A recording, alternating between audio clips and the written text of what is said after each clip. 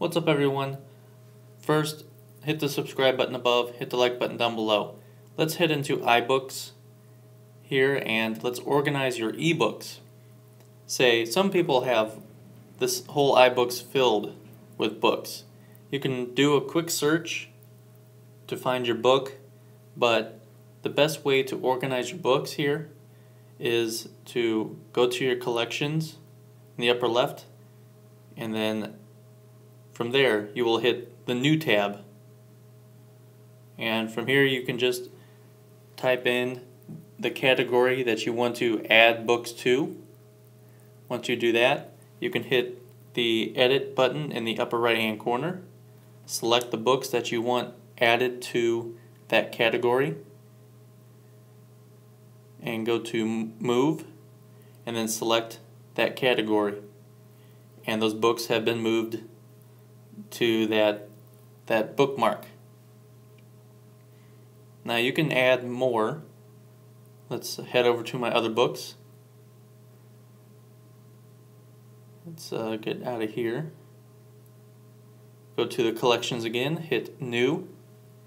Let's add a new one here for my Steve Jobs biography. Hit done.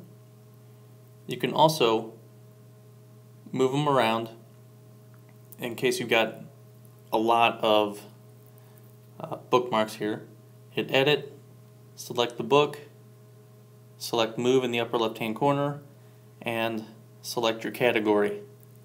And there you go. And you can add as many books to this, this bookmark as, as you want.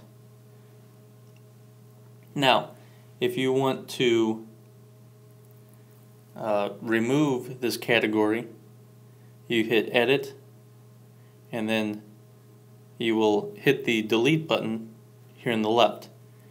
And it'll ask you if you want to remove these books as well and you say don't remove and they will be put back into the books category. See there you go books category and they're back in there Let's head back to the Steve Jobs category. And let's delete this right here. Don't remove. And there you go. It's back in the books category. So that is how you organize your books. Uh, you can move them around however you'd like as well.